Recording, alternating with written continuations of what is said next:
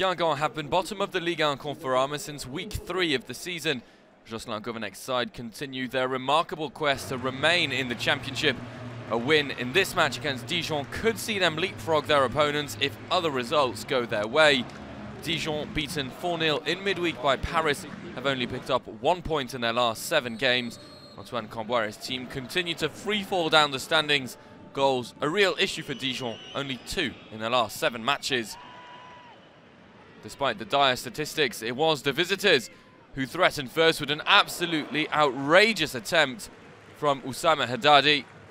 And a good save by Caillard in goal. Another chance for Dijon shortly afterwards. Jeannot going just over with his header. And then Jeannot once again called into action. This time with a much more audacious attempt flying over the crossbar. Antoine Kombouaré's Dijon dominating the early exchanges between both teams.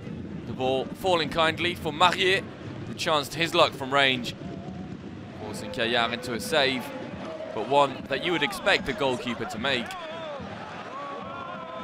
Unfortunately, Guingamp's Lucas was forced off injured. Deaux, who has struggled with injuries this season, was visibly distraught uh, having to go off. Nil-nil at half-time. The home side producing very little in the opening 45 minutes. After the break, Dijon continued to threaten as a wave after wave of white shirts attacked the Guingamp goal. But every time, a lack of accuracy or an unstoppable Caillard got into the way. Marcus Thuram then had Guingamp's first significant chance, but it was a comfortable save. Bobby Allain getting down well.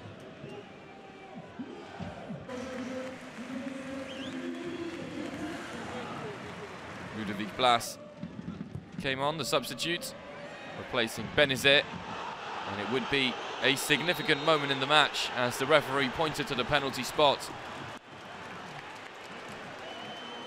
Checking with VAR, Bobby Allain clattering into Marcus Thuram. Upstead Blas and 1-0 for Guingamp in the 86th minute.